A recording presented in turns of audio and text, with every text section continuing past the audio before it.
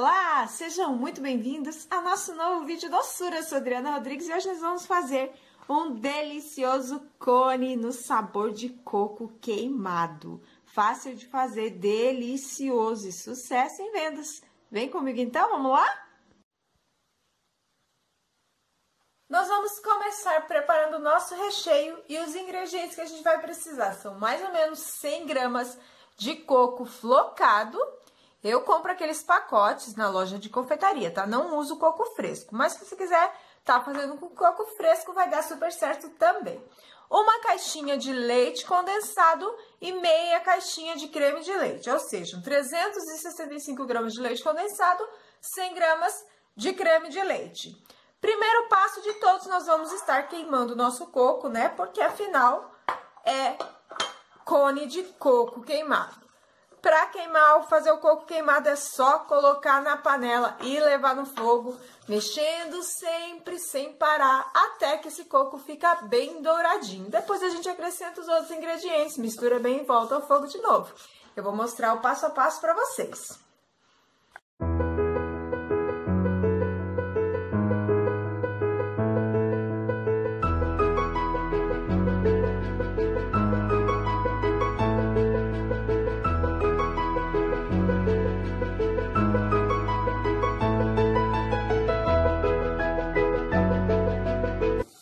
Aqui já tá aí queimado o nosso coco, né?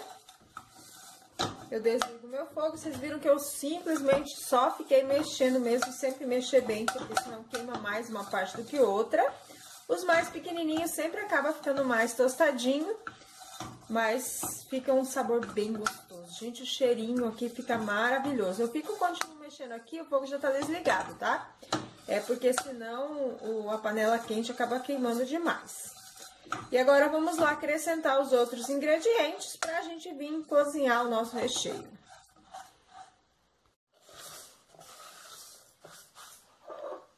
Ainda tá quente aqui, se você preferir fazer o coco queimado com antecedência, pode ser também. Como tá bem quente, a gente tem que misturar rapidinho, tá? Ó como já ferve, né? Colocou o creme de leite, misturei bem, agora vou colocar o leite condensado.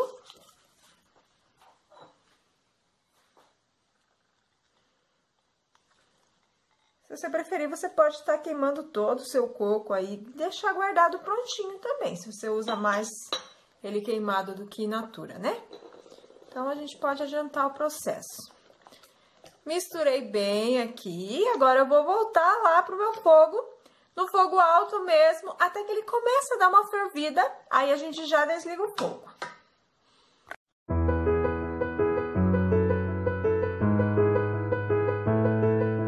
Só, esse aqui já é o nosso ponto, ele começa a ferver, a gente já desliga o fogo para não ficar firme demais, tá? Fica uma textura aí bem bacana pra gente estar tá fazendo o nosso cone. Nem mole demais, nem duro demais. Assim que ele começa a ferver, vocês viram aí, já desliguei. Vou deixar esfriar, tem que deixar esfriar fora da geladeira. E assim que tiver bem frio, você já pode estar tá modelando o seu cone aí. Eu tô fazendo aqui de noite e vou estar tá montando só amanhã. Então, vai ficar descansando aí mais de 10 horas. Mas assim que ele tiver frio já é o suficiente. E agora vamos aí pra montagem da nossa casquinha, né? Nosso cone. Eu compro assim, pacotinhos com 10. Aí eu compro a medida que eu vou fazer, porque eu faço só de vez em quando. Não é toda semana que eu vendo os cones então, eu compro assim de pouquinho. Se você vende bastante e usa sempre, vale a pena comprar a caixa fechada aí, que vem em média de 300, né? Mas, se você vende pouco, que nem eu, não compensa, porque com o passar dos dias ele fica murcho, tá? Então, eu sempre compro assim, eu compro mais ou menos a quantidade que eu vou usar. Nesse caso, eu comprei acho que 60 ou 70 unidades, que é o que eu vou fazer pra essa semana. E agora a gente vai estar tá fazendo o processo do chocolate. Aqui eu já tenho meu chocolate picadinho. O pessoal às vezes fala, ai, pica mais pequenininho. Eu não tenho paciência pra cortar o chocolatinho, tá? Não tenho mesmo, a minha mão dói se eu for cortar o chocolate muito pequenininho. Então eu prefiro colocar, deixar ele maior e colocar devagarinho no micro-ondas até ficar pronto. Mas você faz conforme você preferir. Eu trabalho com o chocolate nobre, como eu já falei várias vezes pra vocês. Vou fazer todo o processo da temperagem aqui, Mas eu não vou mostrar todo esse processo para vocês, porque senão o vídeo vai ficar muito longo. Mas a gente já tem esse vídeo aqui no canal e eu vou colocar o link aqui na descrição. Ou você pode estar olhando também aí na, na playlist de dicas e na playlist de trufas, tá? Esse vídeo também. Também tá como calcular o preço de venda e outras coisas aí que você pode estar aproveitando. Então eu vou derreter ele agora, vou temperar e já volto pra gente poder colocar lá nos nossos cones. Então, eu derreti, temperei meu chocolate e coloquei ele num saquinho, aquele mesmo saquinho que eu mostro pra vocês sempre que eu faço trufas e bombons, tá? É um saquinho de plástico, só que é um plástico um pouco mais firme, né? Mais grossinho.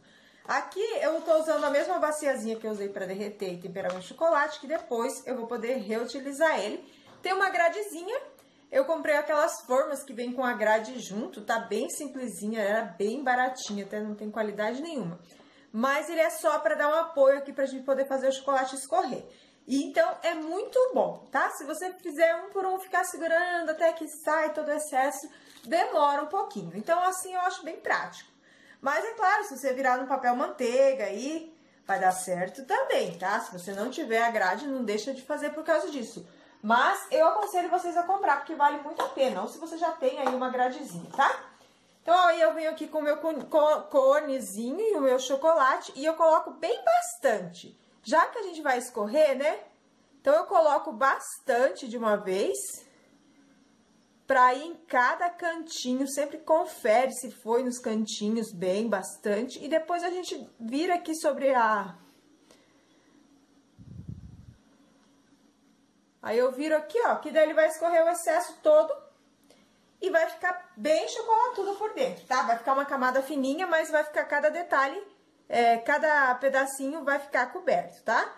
Depois que escorreu, você dá uma conferida de novo, se realmente foi em cada cantinho, porque às vezes a hora que a gente coloca da bolha de ar, daí a hora que a bolha estoura, é, fica buraquinho sem. Daí a hora que você terminou de escorrer ali, você confere de novo, se faltar, coloca mais, ó. Então, eu prefiro colocar bastante aqui, ó, porque daí ele vai escorrer aqui depois na minha baciazinha eu posso derreter e temperar de novo se já tiver endurecido, ou então já usar logo, né, se ele não tiver endurecido ainda.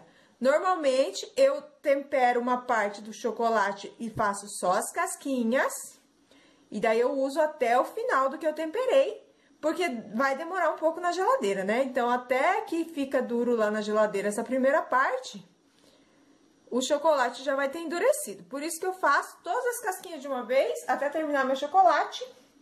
E depois eu tempero um outro chocolate para poder fechar na parte de cima.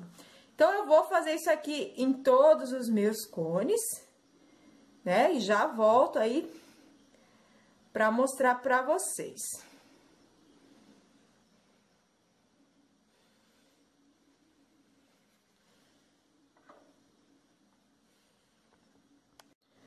Deixei aqui um pouquinho escorrendo, agora eu venho, confiro, olha só. Fica o chocolate em toda parte. E coloco aí em uma outra refratária para poder levar na geladeira. Vai ficar na geladeira aí mais ou menos 8 a 10 minutinhos para esse chocolate cristalizar e depois a gente vem com o recheio, tá? O cone não dá para fazer insuflado que nem as trufas, infelizmente, eu já tentei, mas não dá muito certo não. Vai muito chocolate daí por causa do formato, né? Então é só verificar, porque às vezes acontece de ficar o buraquinho, ó, que nem esse daqui, ó. Acho que nem dá de ver aí na câmera, ficou um buraquinho sem chocolate ali, ó. Aí eu venho com meu chocolate e coloco pra completar. Agora eu ponho só uma gotinha, não preciso nem escorrer daí. Provavelmente tinha uma bolha de ar ali, ó. E daí completo. Aí essa parte eu não preciso nem escorrer, que não é muito excesso. E põe lá. Então eu vou fazer isso com todos eles. Vou levar na geladeira e assim que tiver cristalizado, eu volto pra gente rechear. Gente, para rechear os meus cones, eu tenho esse suporte maravilhoso aqui que o meu marido fez pra mim, com a bandeja de bolo, tá? Ele furou com a serra copo e eu, a gente colocou um cano aqui na parte de baixo pra ficar alto, tá? Mas outro dia eu vi na internet um suporte especial aí pra esse tipo de coisa, que tem vários buraquinhos e é perfeito. E eu tô apaixonada e quero muito comprar. Mas enquanto a gente não pode comprar, a gente usa o que a gente tem, né? E esse aqui me ajuda muito. Então, eu vou colocar, já secou o chocolate, coloco aqui primeiro em todos. E daí eu venho com recheio e com uma camadinha de chocolate para fechar.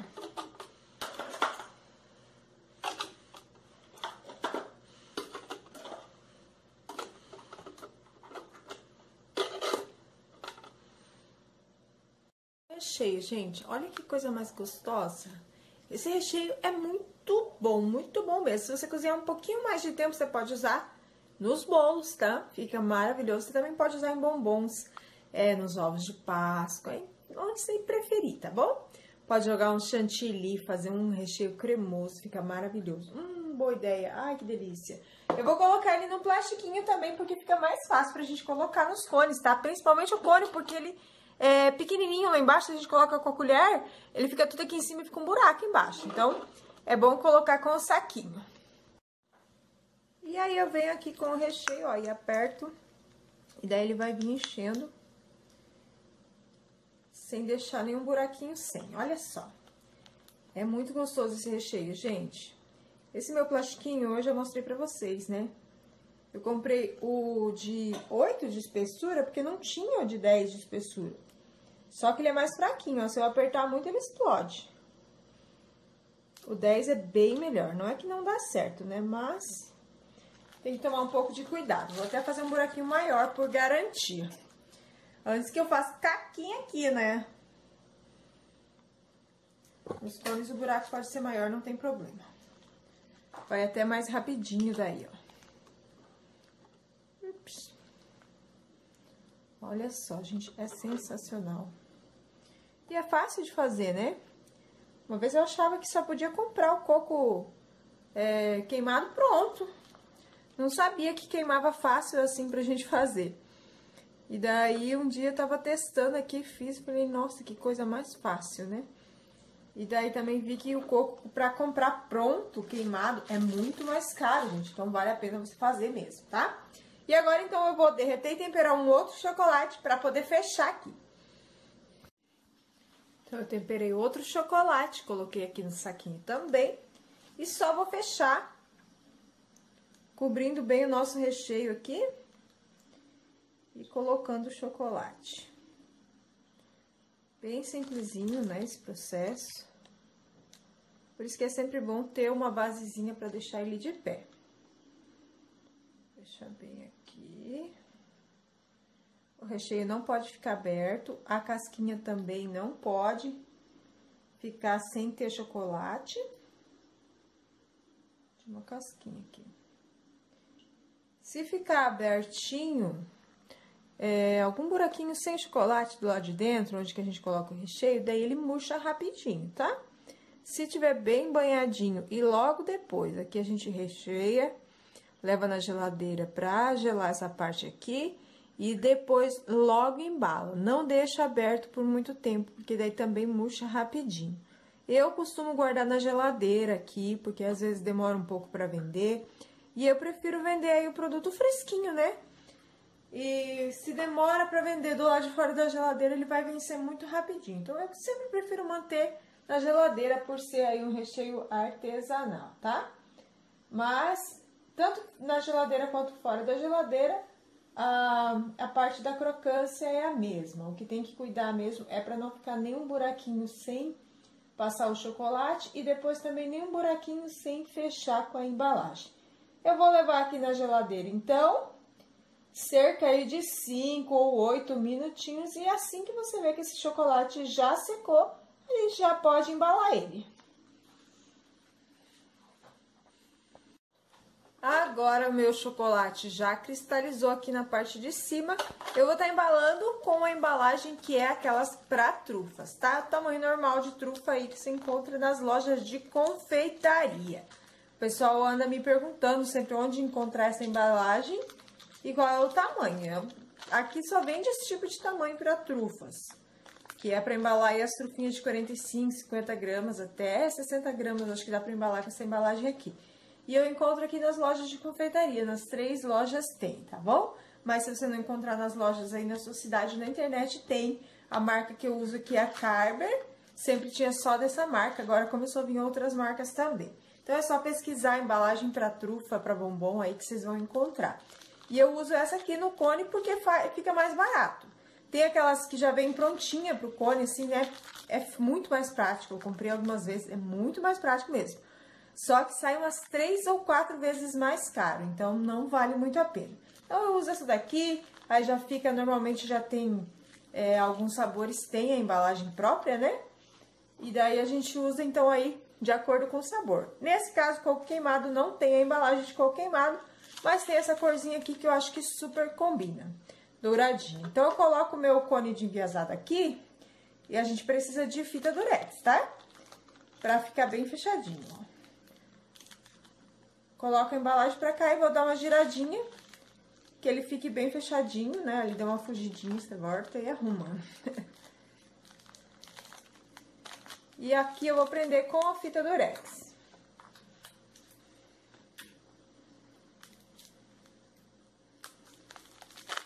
Agora, aqui em cima eu vou puxar, fecha pra cá, fecha pra cá, ó. Juntando as pontinhas. Pra ficar mais bonitinho, você pode colocar essa dobrinha pra dentro, né? Mas pode deixar pra baixo também, fica a seu critério. E fecha aqui com fita durex também. Eu gosto de fechar bem, né? Várias fitinhas só por garantia. E já tá embaladinho aí o nosso cone, ó. Então, ele fica bem fechadinho, cuidar sempre pra ficar fechadinho aqui a parte de baixo e a parte de cima, pra não correr o risco aí de entrar o ar, né, e é, murchada aí. Vou embalar mais um aqui pra vocês verem. Caso tenha ficado alguma dúvida, né? Coloco de enviesado, transpasso a embalagem e vou girando pra ficar bem firminho. Passo uma fitinha lá embaixo.